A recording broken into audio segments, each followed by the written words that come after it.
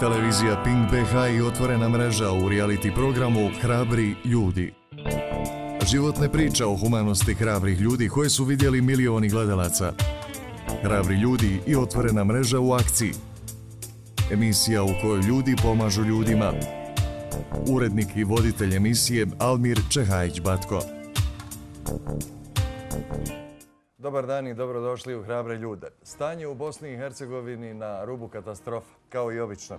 Međutim, u isto vrijeme i predpraznično u susret Božiću i Novoj godini. E, evo kako ćemo na najbolji način opisati situaciju i stanje u državi Bosni i Hercegovini. Građanin, muškarac i najvjerovatnije neuračunljiv, juče se pokušao zapaliti ispred zgrade OHR-a u Sarajevu.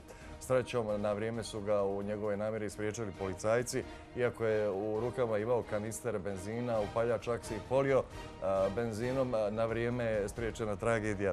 Uz ovakvu vlast i život u pokušaju koju živimo, zaista treba, biti, treba biti mnogo hrabar da bi se čovjek zvao građaninom Bosne i Hercegovine i treba još svašta nešto. A ako nova godina ne bude volja, bit će belaj. Brojimo dakle dane do kraja 2012. godine, ali i pobjede, a mnogo ih je i zbog toga bi trebali biti radosni i dobro raspoloženi, ali dovoljan je samo jedan poraz i stvari budu jako loše i onda bude jako teško. U današnjoj emisiji donosimo priče iz Tibingena, Prnjavora, Mostara, Istočnog Sarajeva i naravno Sarajeva. Ostanite uz Hrabri ljudi. Hrabri ljudi. Dolaze praznici i to je zaista super, ali nije super to što će e, zbog praznika u većini zemalja Zapadne Europe, odnosno u većini europskih kliničkih centara, nastupiti period kolektivnih godišnjih odmora, tamo negdje sve do sredine januara naredne godine. E, to će možda biti najveća prepreka koordinatorima otvorene mreže, mada su tu i drugi brojni problemi i naravno prokleti novac. O tome će nam govoriti Almir Čehajić-Batko koji je na Skype-u iz Tibingena u Njemačkoj. Hrabri ljudi Problem cijele priče je to što bolest očigledno ne zna i nema, ono svoje neke e, granice, svoja neka čekanja. Zaista smo dobili od e, centra u Tibingenu od profesora Faula da oni zaista moraju pacijenti iz Bosne i Hercegovine najhitnije doći u taj e, centar i e, obično ljudi zaista to i ne znaju da je u stvari najvažnija stvar na svijetu da se transplantacija koštane srži izvrši upravo u momentu kada je to ono i po slijedu bolesti i potrebno. mi smo poduzeli sve najhitnije korake i napravili uplate za traženje donora dakle jedne mreže koja je toliko razvijena da ukoliko ne bude 100% donora ili u samoj Njemačkoj ili u Europi onda se donor traži u Australiji, Americi, u cijelom svijetu. Slučaj Mevludina Smrike koji se nalazi sada u Tibingenu govori o tome da je donor bio iz Sjedinjenih američkih država u prošlim slučajevima donori su čak bili iz Australije i taj proces traje od nekih 7 do 15 dana. dakle, on je već krenuo i moguće da vrlo brzo dobijemo odgovor da su iza Asada, iza Željka, iza, iza ovoga, Sanelu Mojanovića donor već pronađen a onda bi se trebalo pristupiti e, transplantaciji koštane srži. E, ono što je za Europu bitno, oni imaju svoje neke procedure, naravno da, da, da će učiniti sve i zato ponavljaju da se hitno trebaju ispoštovati svi uslovi, pa i materijalni, da oni budu u ovom centru stavljeni na transplantaciju, dakle koštane srži, ali od 25. već kreću oni praznici do skoro tamo negdje 15. prvoga i evo sad se čine svi napori da se donor najhitnije pronađe i da ta mala, ajmo reći, pauza bude preskočena. u ovim hitnim slučajevima dajemo važnost pacijentima iz Bosne i Hercegovine iz dva razloga.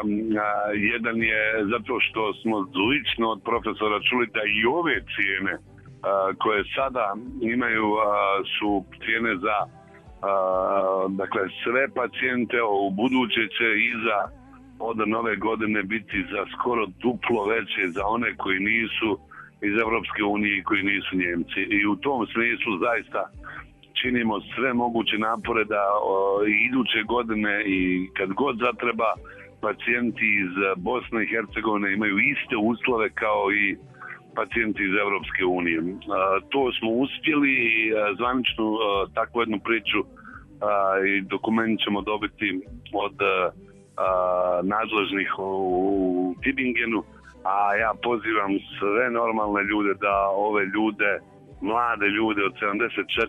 79. godišta, 80. i nekog godišta zaista spasemo. Ja ne znam u ovom momentu šta je i kakva je situacija, ali znam samo da smo stvorili sve preduslove da oni dođu u Tippingen.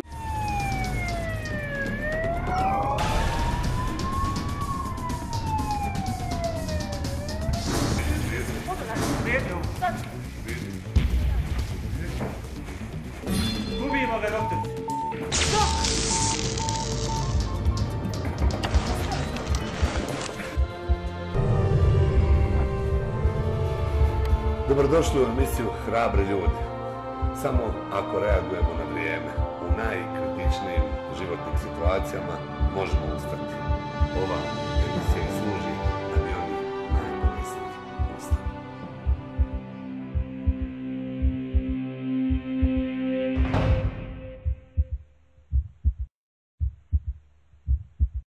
Posljednjih nekoliko dana uživali smo u pravom zimskom ambijentu ili nismo, svejedno. A zamislite kako je bilo onima u Mostaru nenaviklim na ovakve temperature i ovakve minuse, recimo na nezapamćenih minus 10 koliko je kažu bilo i to ovako minus 5 u istočnom i minus 5 u zapadnom dijelu grada. Ipak je ekipa otvorene mreže nekako je uspjela naći jednu toplu oazu i dobro se ugrijati i to crnim vinom, ali vam nećemo otkriti u kom dijelu grada je to bilo, ali na kraju krajeva nije ni važno.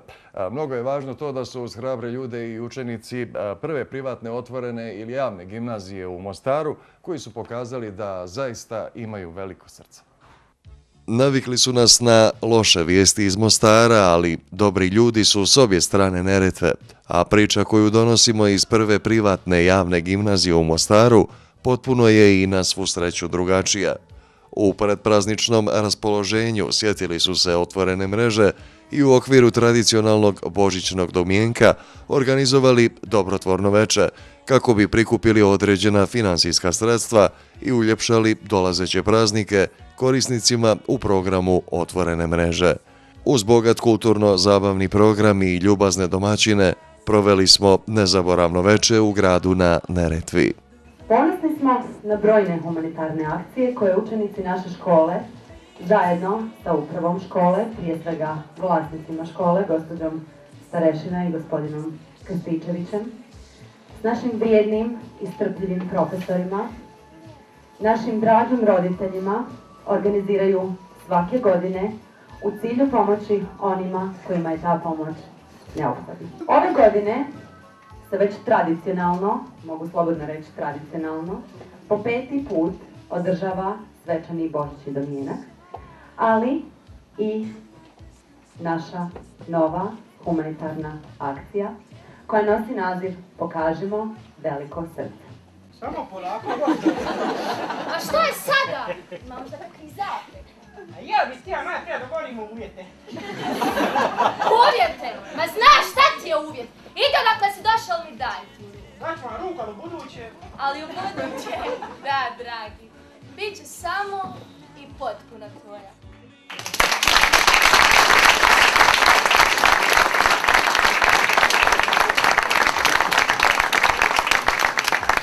Hvala vama što ste u ime jednog velikog projekta Otvorena mreža došli u Mostar. mi smo vas pozvali s jednom najboljom mogućom namjerom, dakle biti prijatelji svima. E, Nama je iskreno cilj da surađujemo i pružamo svoju pomoć ili nesebičnu ljudsku riječ ili barem ono jedno veliko srce svim ljudima kojima je ta pomoć najpotrebnija i kojima je najneophodnija.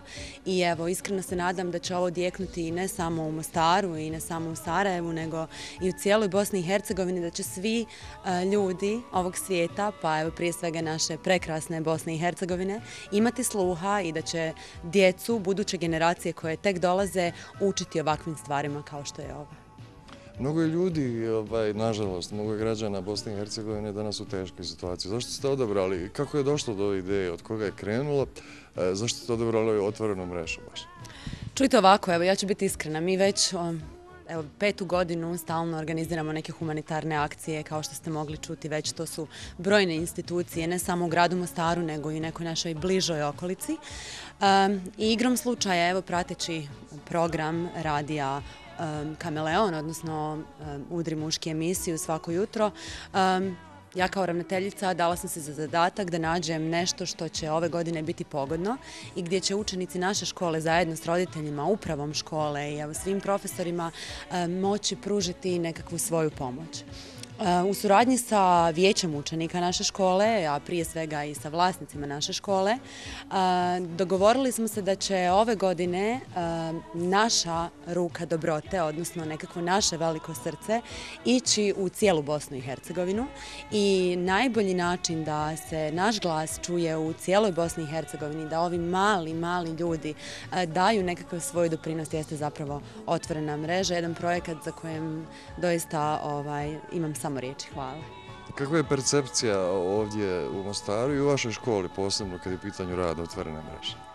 Čujte, što se tiče rada otvorene mreže, podržavamo ju i nadamo se da ovo neće biti prvi i posljednji put da smo se mi uključili u nekakvu ovaj, suradnju s vama. Mi ćemo davati svoj maksimum i dalje. Toplo se nadam da, ćemo, da će naši prihodi, odnosno sve ono što mi budemo skupili ne samo danas, nego i kroz cijelu godinu, uh, imati odjeka u javnosti, da će se u tu priču uključiti ne samo naša škola, nego i svih 16 škola u Županiji Hercegovačko-Neretvanskoj uh, i da ćemo jeli, zajedno sa otvorenom mrežom dati uh, jel, prije svega ljubav onima kojima uh, doista ta ljubav treba i onima kojima treba prije svega ono što su oni izgubili, a to je zdravlje. Naravno, novac je nužno zlo i sad je baš je u drugom planu, mnogo je važnije ovaj gesta, ali e, tako je kako jeste. Evo za kraj, e, vrijeme blagdana praznika, ide Božić, ide Nova godina, pa ću vas zamoliti za jednu lijepu božićnu poruku i za učenike, ali i za sve gledate. Tako, evo ja sam to već jednom naglasila i mislim da će to biti krilatica moja ovogodišnjeg domjenka i ovogodišnjeg Božića, a to je ljubav i rad moraju biti temelj humanosti i samo na taj način možemo dati svoj maksimum i postići svoj maksimum. Dakle, želim svim ljudima dobre volje, prije svega građanima Bosne i Hercegovine i građanima cijelog svijeta, sretan i čestit Božić, uspješnu novu 2013. godinu. Našim učenicima želim što bolje rezultate u radu, što više velikih srca koji će nas povezati u jedno. Evo, to je to. Hvala.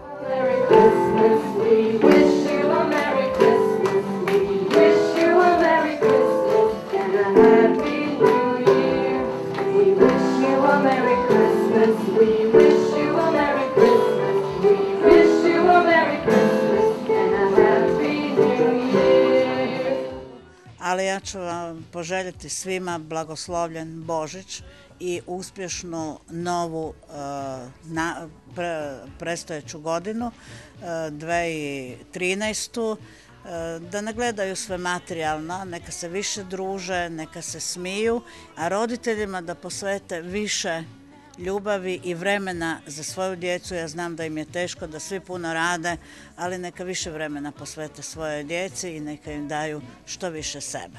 A ovoj lijepoj djeci, učenicima? a učenicima da budu dobri ljudi, da postanu dobri ljudi i da se vole jedni druge. Jer to je najbitnije. Materijalno je tu, prođe i više ga nema, ali ono što nose u sebi je najbolje. Odlučili smo se za ovu prvu internacionalnu privatnu gimnaziju u Mostaru. Kad smo vidjeli njihov program koji je temelje klasične gimnazije, kad smo vidjeli način rada sa djecom, na, najprije smo upisali sina koji je sada drugi razred, a poslije toga smo i kćer prebacili koja je treći raz, ona je išla u klasičnu gimnaziju, u staru gimnaziju u. Dosta terenske nastave, prilagođen program, nemam riječ. I velika olakšica je roditeljima što je u školi organizirano i učenje, e, nastavnici rade sa učenicima posle nastave po potrebi, po zahtjevu, mislim da je vrlo dobro organizirano sve. U principu uče ih e, život onakav kakav trebaju. E, Uče ih da budu samostalni, da budu samouvjereni. Bukvalno sve ih uče. Mi smo što se toga tiče i što se tiče ponašanja i što se tiče svega prezadovoljni sa, sa cjelokupnim njihovim odnosom profesora i đaka i đaka profesora. Jako smo zadovoljni. Krenuli smo istina sa šest učenika. E, mi smo pioniri u privatnom školstvu na, na ovim područjima, tako da nismo se iznenadili. Računali smo jednostavno da smo prva privatna, privatna gimnazija i da ćemo trebati malo po malo utabati taj put, pionirski put. Jel? I ovaj, no malo po malo jednostavno smo, jednostavno smo svojim radom radom ovaj, stekli, stekli povjerenje kod roditelja i evo kao što, kao što i vidite svakim dana sve više i više djece dolazi, dolazi u ovu školu. I koliko vidite i roditelji su prezadovoljni sa, sa školom. Mi smo svi svojim doprinosima pomogli tom humanitarnom radu. Pomogli smo djeci odjećom, igračkama, organi- organizirali smo razne akcije u školu da bi im pomogli. Prava nacionalnost nije bitna, to nikad nije ni vjera, ni vjeroispovijed čovjek je čovjek. Ima dobrih ljudi s ove strane, ima dobri ljudi s one strane. Kako ima loši, loši, ali znači uvijek jedni trebamo drugima pomagati. Ono što vidimo u Mostaru svaki dan, neke loše slike grada, neke teške živote kojima ljudi prolaze, iznenadim se. A i vjerujem da u drugim gradovima možda mogu vidjeti i teže situacije. Zato smo potaknuti ovom humanitarnom akcijom, odlučili pomoći tim ljudima, a i ono najvažnije potaknuti ostale da idu našim, idu našim putem i pomognu njima. Čovjek samo treba zapitati kako je ljudima koji imaju sam, imalo manja primanja, kako je teško preživjeti. A pošto se mi družimo u ovoj školi jako puno zajedno sa profesorima i mi učenici međusobno, e, veoma smo brzo došli na tu ideju, preko otvorene mreže financiramo, doniramo novac svim ljudima kojima je to potrebno.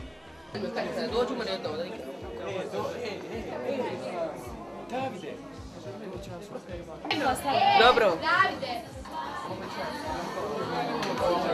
Kad iz snijegom i ledom okovanog Sarajeva najednom osjetite svu blagost Juga Hercegovine, a uz to upoznate nove prijatelje, prelijepe mlade ljude i one starije, ali isto tako ljubazne domaćine, teško da možete pronaći bolji način da provedete tako divno večer. Donacija u iznosu od 1093 konvertibilne marke već je uplaćena na račun Mevludina Smrike, uskoro će i Božić i jedva čekamo priliku za čestitke i novi susret u 2013. godini. Voli vas otvorena mreža.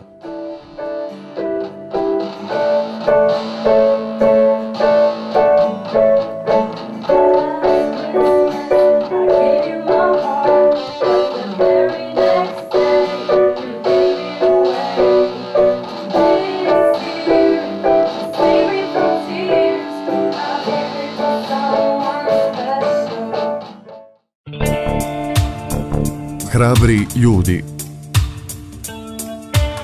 Emisija u kojoj ljudi pomažu ljudima. Nekako odmah na sam pomen praznika Božića i Nove godine obuzme nas dobar osjećaj i dobro raspoloženje. Vidjeli smo atmosferu u Mostaru, a možda ste i vi među tim sretnicima. Međutim, nije mali broj ljudi u Bosni i Hercegovini kojima praznici i ne znače baš tako mnogo.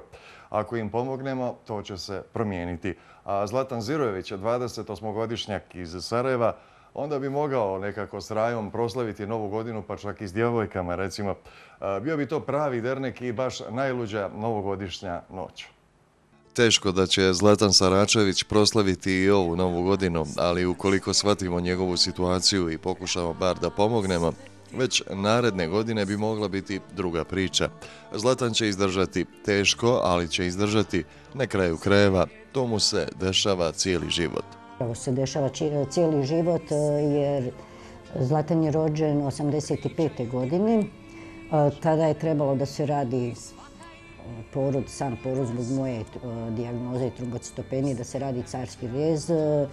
Međutim, razlozi zbog čega to nije urađeno, ja ne znam. Uglavnom, Zlatan je već nakon nekih 7-8 sati izgubio dotok kisika u mozak, srce je stalo da radi i zahvaljujući mojoj Hala Rahmet Lemajc koja je došla da vidi šta se dešava, onda je isprovociran porod i rođen je ne na vakum, već normalno, normalno sa tada je stavljen u inkubator. Nakon godinu dana njegovog života smo primijetili, u stvari ranije, da on vuče malo desnu nogu i desnu ruku i dijagnostikom je od, e, pronađeno da ima dvije vodene ciste na mozgu. Jedna je velika koja je bila kompresivna, druga je manja koja je se pretakala. Međutim, sve bi to bilo ok do 1994. kada je dobio prvi epinapad u ratu, kada se nalazio kod moje sestre u Srbiji u Čačku i godinu dana je bio pod jednom blagom terapijom. E, nije imao napada i ja sam kopala nogama i rukama da ga vratim gdje sam grešku napravila u Sarajevo i onda nastaju naše muke dolaskom u Sarajevo. E, uključene su mu jake doze terapija i te terapije su se povećavale svaki put na kontrolama ili su se mijenjali lijekovi. Tako da naša borba za Zlatanovim epinapadima traje od 1994. godine do dana današnjega. Zlatanu je dosta lijekova i previše, ali niko od ljekara se nije osudio da predloži operativni zahvat. Jednostavno nisu se sjetili. A zamislite da samo u jednom danu Zlatan istrpio 30 do 40 lakših i težih epinapada. A ako nastavimo gubiti vrijeme, izgubit ćemo i Zlatana. Ili ćemo ga svakako ubiti terapijama. Najizglednija prilika je klinički centar Ačibade.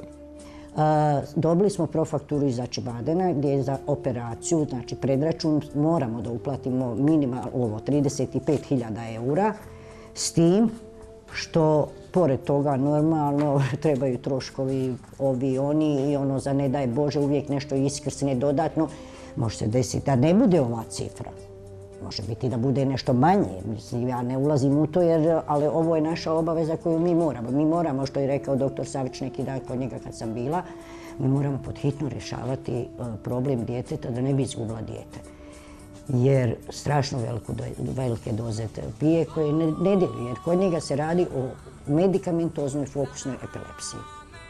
Tako da mi, ja sam došla kod vas da vas zamolim, jer stvarno onaj, ne znam kome više da se obratim. Vjerujte, stid me je pojedinih ljudi koji uvijek e, doniraju prijatelji naši i sve, ali ja sam primorana da spašavam dijete. Vesna Zirojević je obična, skromna žena iz komšiluka, naučila da živi sa svojim Zlatanom i svojim problemima bez da ikome o tome priča ili da traži pomoć. Otvorena mreža je pomagala i ranije, a pomoći će i ovaj put, ali potrebna je i vaša pomoć. Obraćam se, onaj, mislila sam da ne idem u javnost, ne zbog sebe, ne zbog nečega, ne stidim se, vjerujte. Ja obraza svjetla hodam ovim gradom, ali ovaj, za dijete moram. Ovaj put moram da idem u javnost i, ovaj, i da prikupim, ne znam načina na koji mogu prikupiti ta sredstva.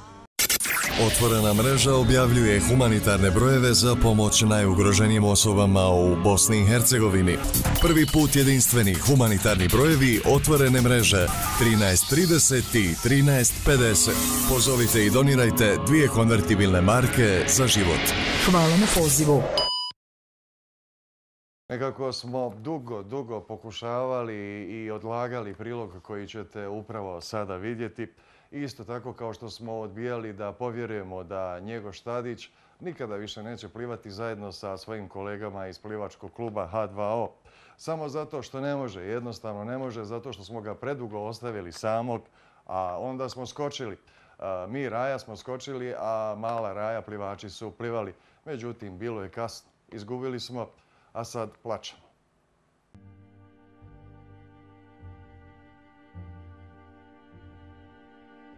Njego Štadić, 15-godišnjak iz istočnog Sarajeva, naprosto nije mogao da sačeka.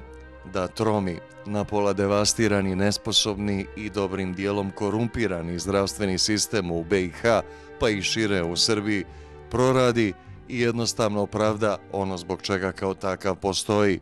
Ili to i jeste njegova uloga, da jedan po jedan dječak ili djevojčica, nestrpljivi u čekanju bolje budućnosti i konačno boljeg života u Bosni i Hercegovini, požure u smrt sa jedva navršenih 15 godina. Ostaće zapamćeno da se mala družina plivačkog kluba H2O zajedno sa njegoševom sestricom Tinom borila do samog kraja. Hrabro, nepokolebljivo iskreno, onako kako se bori drug za druga. A na kraju tuga, bol i nevjerica. I posljednje riječi oproštenog pisma, posljednje što napisa drug svom najboljem drugu. Mali, hrabri ljudi svom dragom njegošu.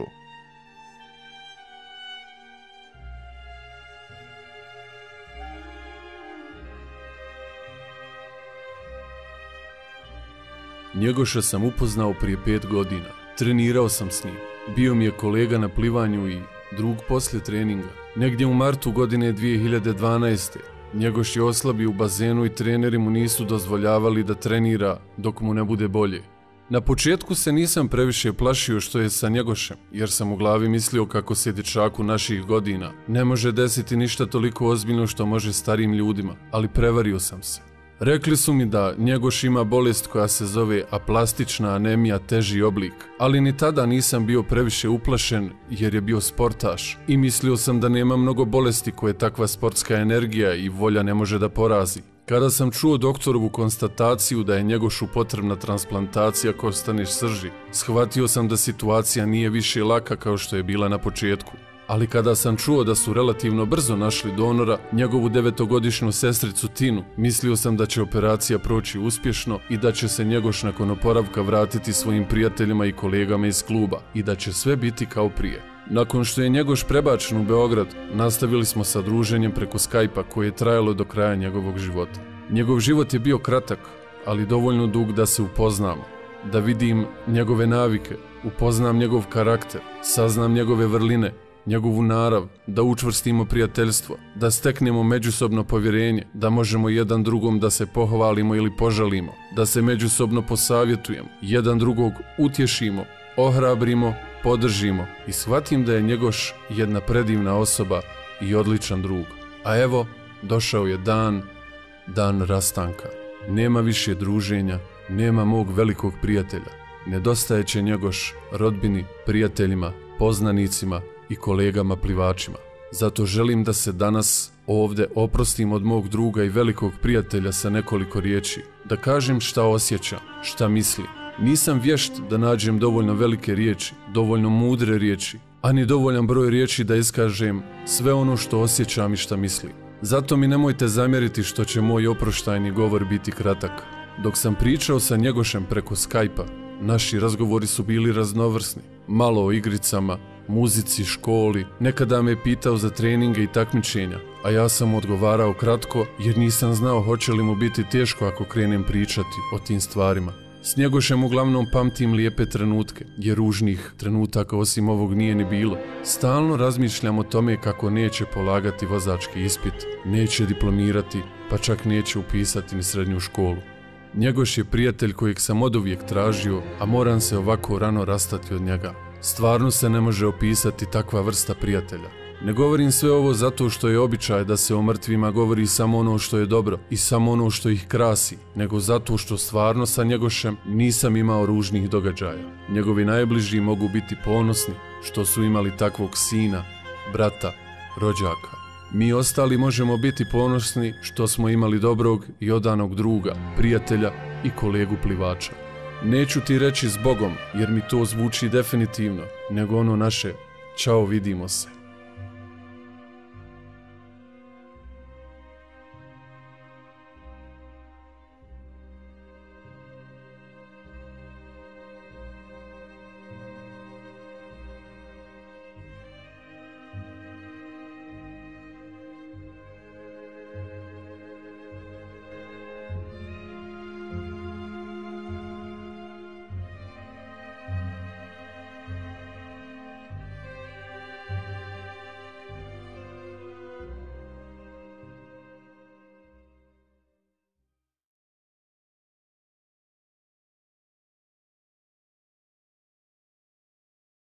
Ovu tužnu priču o našem drugaru Njegošu smo namjerno ostavili za kraj, kao opomenu.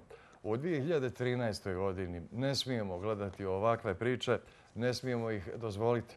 Jer ako ih bude, onda se džaba zovemo hrabri ljudi. Otvorena mreža ide dalje. Hvala što nas podržavate i ponovo smo zajedno za sedam dana.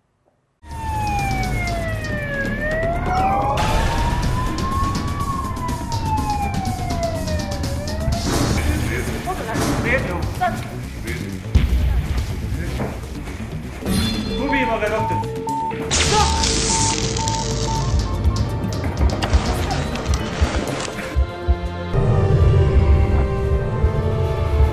Dobrodošli u emisiju Hrabre ljudi.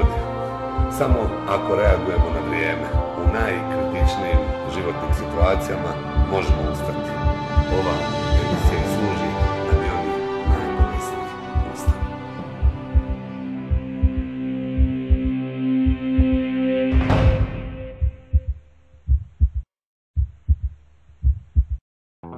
Televizija Pink BH i otvorena mreža u reality programu Hrabri ljudi. Životne priče o humanosti hrabrih ljudi koje su vidjeli milioni gledalaca. Hrabri ljudi i otvorena mreža u akciji. Emisija u kojoj ljudi pomažu ljudima. Urednik i voditelj emisije Almir Čehajić-Batko.